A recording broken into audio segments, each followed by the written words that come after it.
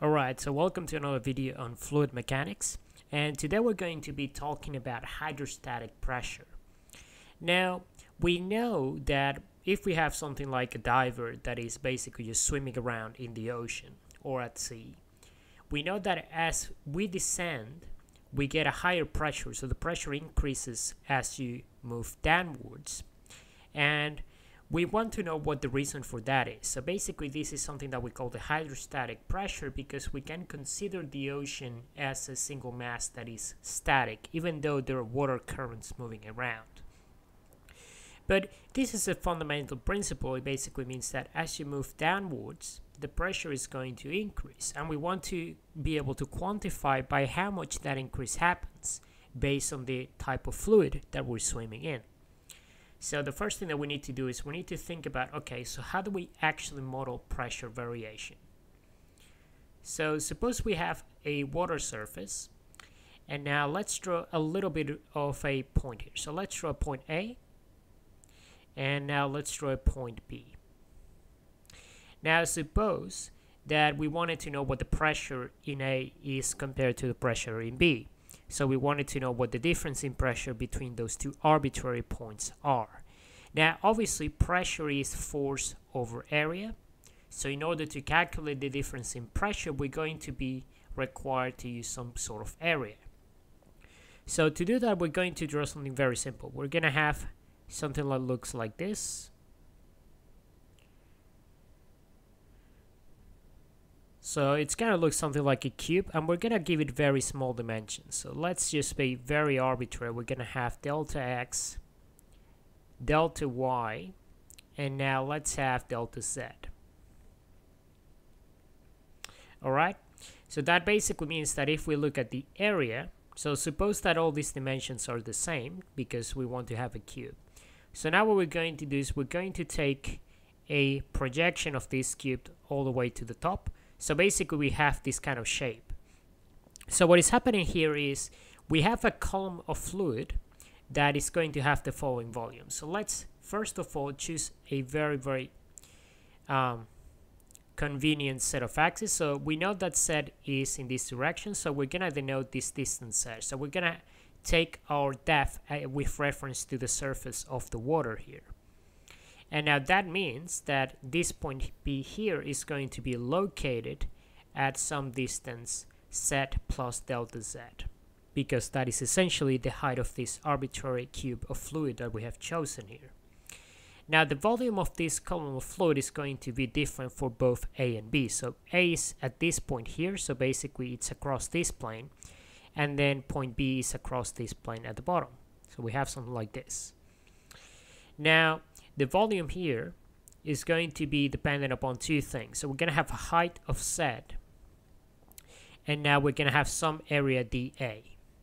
Alright, and in this case, the, the area doesn't matter what it is, it's just going to be, um, actually, let's call it delta A. I'm thinking about infinitesimals when I should be thinking about just some sort of, let's call it delta A, and it's going to be equal to delta X times delta Y. So that's going to be the volume of this column of fluid right above point A.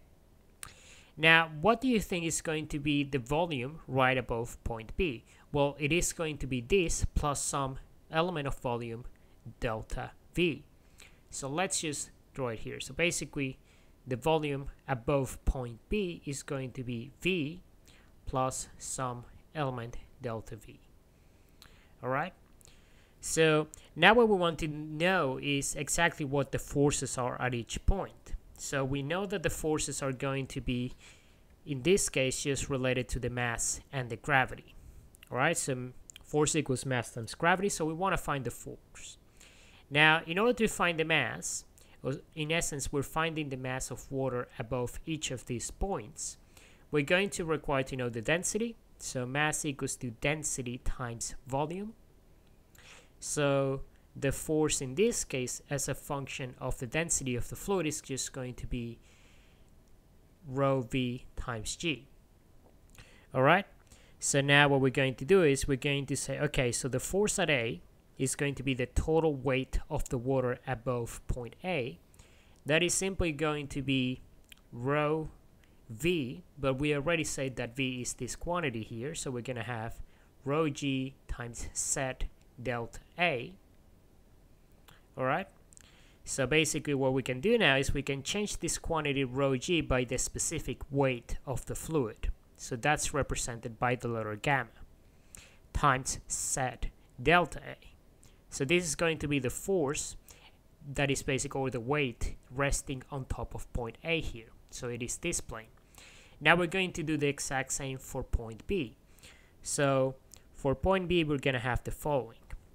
We're going to have rho g, but now you're going to notice that the volume is going to be V plus delta V. Alright? So let's see what that comes down to. Well, we know that V is going to be the same. It's just going to be Z times delta A. So we're going to have rho G. Actually, let's change that already by the specific weight gamma. Now here we're going to have the following. We're going to have Z delta A and here we're going to have plus delta Z times delta A because we know this is going to be the same cross-sectional area as this volume here but now the actual volume is going to be just delta Z. That's the height of the cube here. Alright so now let's just expand this out. This is going to be gamma Z delta A plus gamma delta Z delta A. And now the next thing we're going to do is we want to find the actual pressure at points A and B. So we know, okay, so pressure at A is just going to be force A over the total area. So the total area is just going to be delta A. And that means that the total pressure at this point is just going to be gamma Z delta A over delta A. These two are going to cancel out and that gives us specific weight times the depth Z. Okay, we're going to do now the same for pressure at point B. So that's going to be force at B, so that's the weight of water or fluid above point B over the total cross-sectional area. And that's going to come down to gamma Z plus gamma delta Z. And now hopefully you can see where this is going. The idea originally was to find out what the difference between those two points is in terms of the pressure. So what we're going to do now is we're going to say, okay, so the difference in pressure is going to be equal to pressure at B minus pressure at A. And we're basically claiming that the pressure at point B is going to be greater than the pressure at point A simply because it is deeper. And I guess the, the best or most intuitive way of thinking about that is you can think about this as in the case of the two divers this diver has more weight of water resting on top of him than this diver does. You can clearly see that the amount of water resting on top of him is much less than the amount of water resting directly on top of this one. So it makes sense that pressure at B because it is deeper is going to be much larger than the pressure at point A. And the same happens in this case that we have here. So now we're going to plug those values in. So we're going to have delta z plus, sorry, gamma z plus gamma delta z minus gamma z. And it turns out that these two quantities are going to cancel out. So that gives us gamma delta z. So that basically implies that the difference in pressure between those two points is going to be equal to the specific weight of the fluid times the variation in the depth that we're taking into account. And it so happens that as you take that distance between the two points very, very close, you actually get an infinitesimal uh, relationship between the pressure variation and the variation in depth. So if we take the limit basically as the separation between the two points goes to zero, then this equation is going to reduce to an infinitesimal relation. So we're going to have dp equals to gamma dz. And this is what the variation of pressure with variation in depth is basically defined as. And this is basically where it comes from. There are many different derivations to this simple relation, but this is the one that I like the most because it's very intuitive and it is very straightforward. It doesn't require any complicated calculus in it. You just take into account that the volume of water here is less than the volume of water there, and you're simply calculating the difference in pressures between those two points. So now let's think a little bit about what this actually means.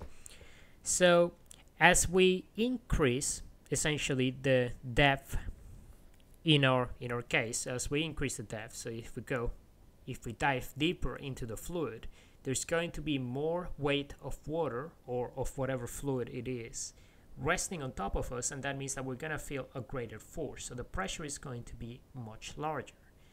And if we ascend then that means that the pressure is going to decrease because there's less mass of water resting on top of us now in some cases you can you might be see uh, this equation written in the following way you would have minus gamma times dz and the reason this is a more common representation of that is that this is normally taken with reference to the seafloor. So basically, this equation would be taken if Z was oriented upward. So it means that your pressure is actually decreasing as you move upwards towards the surface of the fluid. But the two equations are pretty much the same. This one is just taken with respect to Z S going upwards. This one is taken with Z going downwards. So they're equivalent expressions. And this pretty much encapsulates that uh, physical phenomenon of the pressure being much larger as you descend into the fluid. Now, what do you think would happen with the pressure as you move along the fluid in either the x direction or the y direction? Well, it turns out that if you take the pressure at this point here, or the pressure at this point there, it doesn't matter what that separation delta x is. You can imagine that the amount of fluid resting on top of this point is exactly the same as the amount of fluid resting on top of that point. So the weights that are basically acting on those two points are going to be exactly the same, assuming that the fluid is the same and it is continuous. And that means that we should expect the pressure at this point, let's call it point x, and at point x plus delta x to be exactly the same. So the pressure is not going to vary in either the x or the y direction simply because the same mass of fluid is resting on top of each of those points.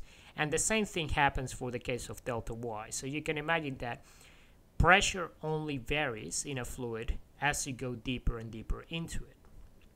And the, the one quantity that is going to basically tell you by how much that pressure is varying is going to be the specific gravity of the fluid, which is just its density times, not the specific gravity, but the specific weight, which is just rho times g.